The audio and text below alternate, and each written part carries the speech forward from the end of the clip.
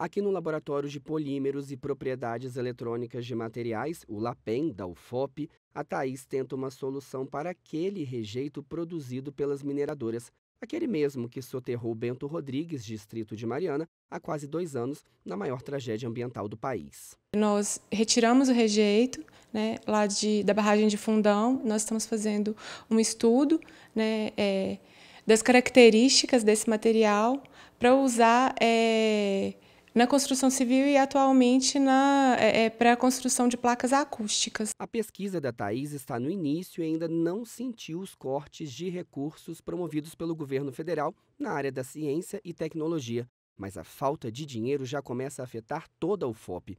Em dois anos, o número de projetos de pesquisa caiu de 150 para 47.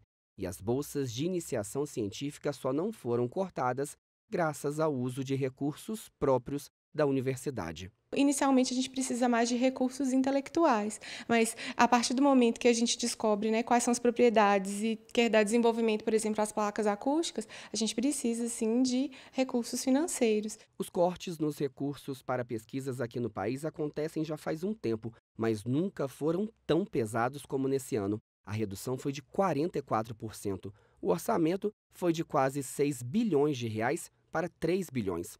Parte desse dinheiro chega às universidades direcionada para ações na graduação, na pós-graduação, no ensino, na pesquisa e na extensão. Na UFOP, essa área já teve uma redução de mais de 9% no comparativo desse ano com o ano passado. Caiu de 67 milhões de reais para 61 milhões.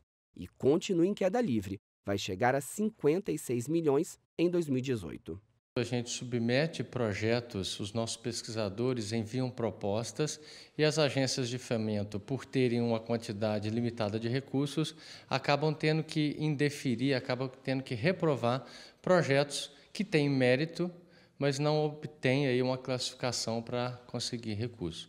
E, e a outra questão é exatamente o corte em bolsas. E o número de bolsistas já está menor. De acordo com o CNPq, que é o Conselho Nacional de Desenvolvimento Científico e Tecnológico, em 2014 foram investidos cerca de 10 milhões de reais na UFOP, que tinha então 714 bolsistas. No ano passado, esse número caiu para 513 e o total gasto pelo órgão para projetos na universidade foi de pouco mais de 4 milhões de reais. Para o professor Rodrigo Bianchi, coordenador do LAPEN, os cortes representam atrasos que podem ser irreversíveis para o país. Cortes como esse podem fazer com que, a curto prazo, curto prazo, eu não digo nem uma década, menos do que isso, possa fazer que a dependência do Brasil em relação a, a produtos importados seja cada vez maior e cada vez esse nosso país se torne mais século XVIII. Então, esses cortes em 10 anos não são reversíveis fracamente ou rapidamente. Pode ser talvez que não sejam nem reversíveis e transforme o Brasil realmente do que nós não queremos. Cortar os recursos para a pesquisa hoje não é a pesquisa em si que está sendo prejudicada apenas. Uma pesquisa que envolva coisas fundamentais, que envolva astronomia, que envolva bactéria, que envolva alguma coisa química ou de engenharia.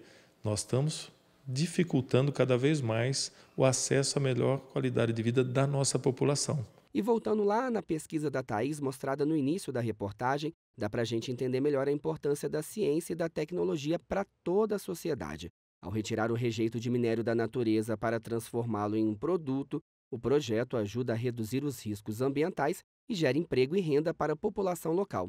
Se os cortes persistirem, o meio ambiente, a saúde, a educação e até mesmo a economia, que é usada como argumento pelo governo para a falta de verba, poderão sofrer duras consequências. Apoiar a ciência é apoiar pesquisas para curar doenças, para melhorar a produção agrícola, para enfim, melhorar a nossa qualidade de vida.